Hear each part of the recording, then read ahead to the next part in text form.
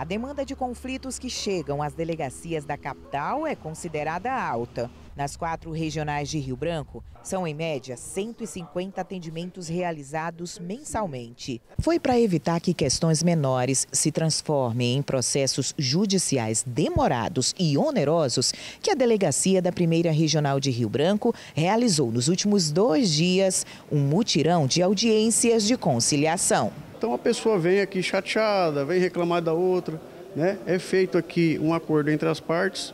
Hum, a grande maioria desses acordos são feitos aqui e as partes saem satisfeitas.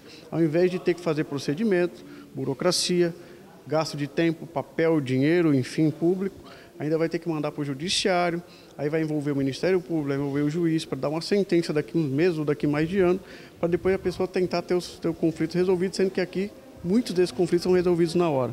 A ação faz parte do projeto Pacificar da Polícia Civil do Acre, que há uma década vem mostrando resultados positivos. As pessoas querem vir aqui, querem sair com resolução. Eles não querem esperar meses ou anos para que isso aconteça. São 32 audiências que estão sendo feitas e nós temos aqui, segundo aqui o, o, o nosso é, é, coordenador aqui do projeto, né, é quase 100% de, de, de resolução de conflitos. Então são 32, praticamente 30, 32 processos a menos que poderiam ir para o judiciário.